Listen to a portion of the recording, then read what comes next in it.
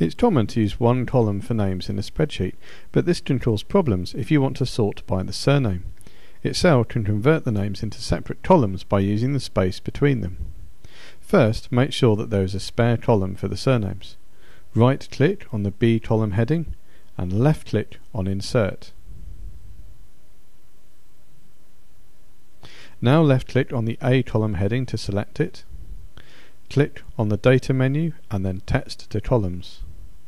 Make sure the top option Delimited is selected and click on Next. Select Space in the Delimiter section and remove ticks from other options. If you have used a different character in between words, such as an underscore, select the Other option and enter a character in the box next to it. A preview will appear below. Click on Next. You can select the data format here. This can be left as general, so click on Finish. The only thing left to do is to add a column heading for the surname.